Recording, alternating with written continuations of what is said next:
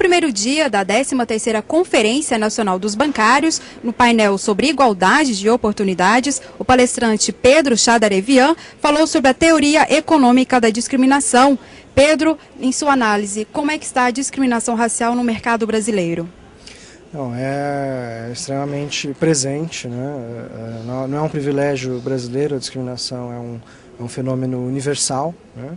Que atinge uh, minorias que não se enquadram numa definição de, de, de estereótipo dominante, que é uh, branco, né, que é visto como uh, superior, ou o homem, como visto, que é visto como mais eficiente para determinadas funções, que são os postos privilegiados e que não por acaso são uh, exatamente pessoas com essas características que,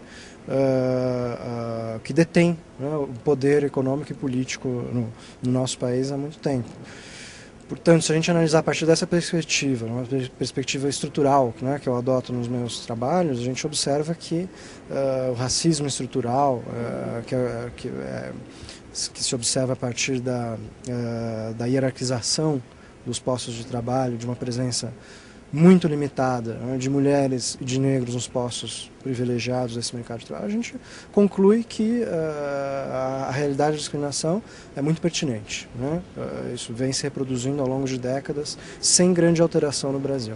Certo. E, e o que se pode fazer para tentar amenizar essa situação?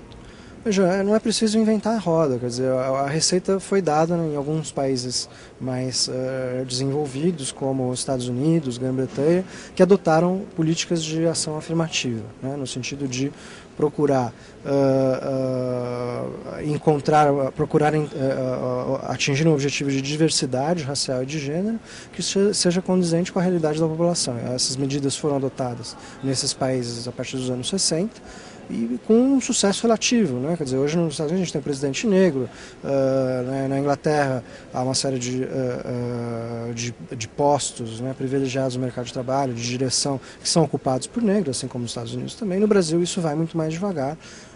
Porque, não, porque há resistência na adoção de políticas de ação afirmativa no mercado de trabalho. Ainda que o Brasil avançou, né, é importante que se diga, no setor educacional, né, uh, especialmente né, por conta de políticas autônomas das universidades públicas e privadas que vêm adotando medidas compensatórias, como cotas, por exemplo, né, reservas de vaga para membros dessas minorias.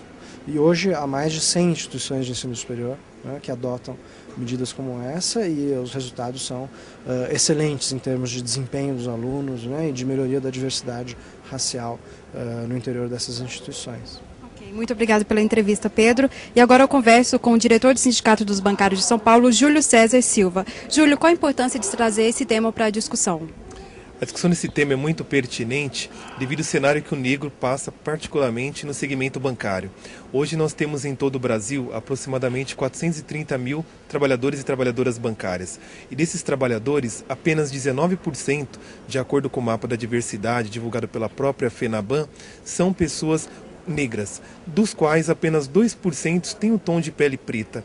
Então demonstra claramente que o negro acaba não tendo acesso ao segmento bancário e quando tem, tem uma renda financeira muito inferior à dos trabalhadores e trabalhadoras que não são negros.